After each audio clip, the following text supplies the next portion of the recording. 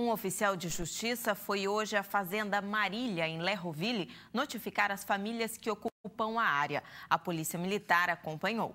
O acampamento Quilombo dos Palmares é ocupado por cerca de 350 famílias de sem terra, remanescentes da Fazenda Figueira. Nossa equipe de reportagem esteve no local, mas os líderes não permitiram a entrada.